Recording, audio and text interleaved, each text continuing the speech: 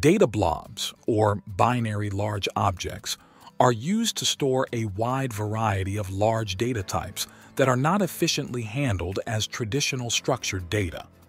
These can include multimedia files, documents, and other forms of unstructured or semi-structured data.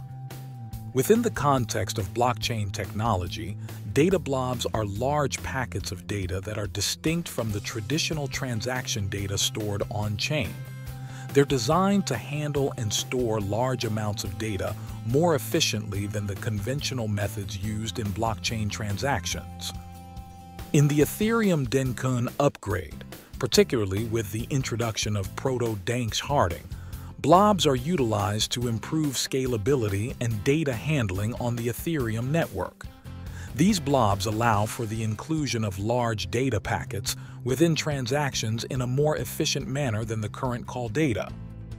Unlike regular Ethereum transaction data, which is processed and stored by all nodes perpetually, blobs are stored off-chain and referenced within transactions, significantly reducing the on-chain data storage requirements, and reduces the costs associated with data handling and storage on the Ethereum network.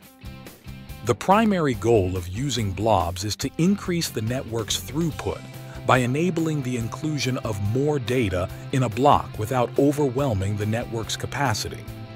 This is particularly beneficial for Layer 2 rollups, which aggregate multiple transactions into a single one to be processed on the Ethereum mainnet.